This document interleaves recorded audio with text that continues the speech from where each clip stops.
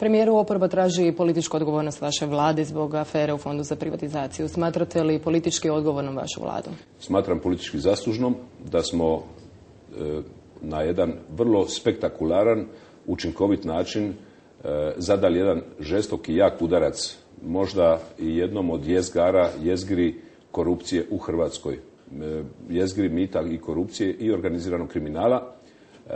Čestitam svima koji su u tome sudjelovali. Naravno i vlada koja je stvorila zakonske preduvjete da USKOK, da državno odvjetništvo, da policija, da sigurnosne službe mogu djelovati na ovakav uspješan i učinkovit način, a nećemo zaboraviti i novce koje smo dali jer tim novcima su ti potplaćeni sa tajnim agentima i uletjeli su u klopku. Dakle, oporba je zavidna, što je, što je ljudski, ja to razumijem, ali puno više, mi je, puno više me zanima što misle hrvatski građani. E, predsjednik SDP-a Zoran Milanović tvrdi da je ovo krah vaše vlade. Kako to komentirate?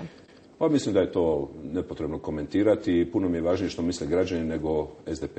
Ivan Gotovac, jedan od uhićenih potpredsjednika fonda, tvrdi da je vaš ministar i potpredsjednik vlade Damir Polančec znao za mutne poslove u fondu. On je to u međuvremenu demantirao. E, vjerujete li vi svome ministru? Ja vjerujem državnom odvjetništvu i organima progona koji su pratili gospodu iz Fonda za privatizaciju e, više od godinu dana. Sama operacija je nekih 9-10 mjeseci, ali se prate i više od godinu dana i da je bilo koji ministar ili bilo neko treći, četvrti, jer kad se krenulo u tu operaciju nije se znalo gdje će završiti.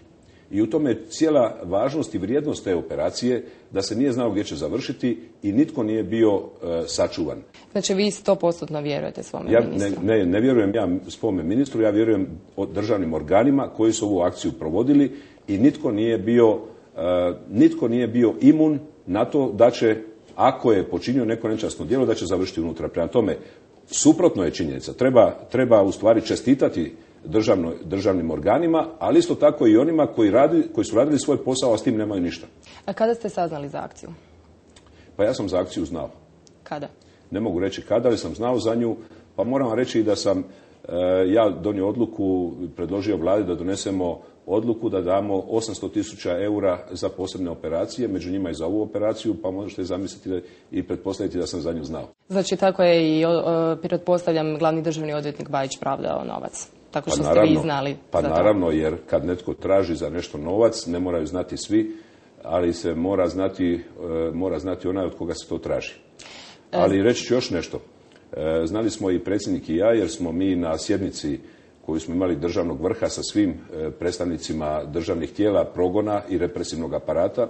Još u rujnu prošle godine imali zajedničku sjednicu gdje smo odlučno zatražili borbu protiv korupcije, mita i organiziranog kriminala i kao što vam je poznato, za sutra smo sazvali drugu sjednicu gdje ćemo im čestitati, ali gdje ćemo tražiti nastavak ove operacije. Možemo li onda sutra očekivati neke konkretnije rezultate istrage ili neke konkretnije poteze koje namjeravate e, još poduzeti u idućih nekoliko mjeseci? E, mislim da sutra ne, ali da će biti još takvih poteza, u to sam siguran.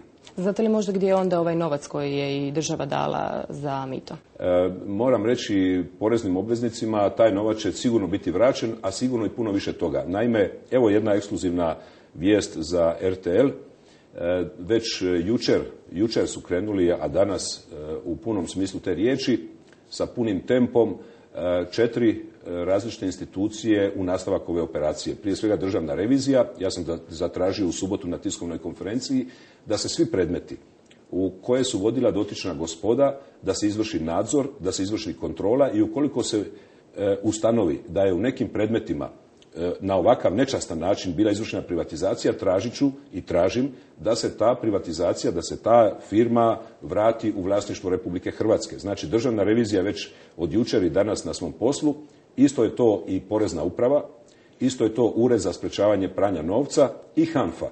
Ja očekujem da se, da krajnji rezultat bude i zamrzavanje imovine dotične gospode. E, recite mi još za kraj što će biti sa fondom?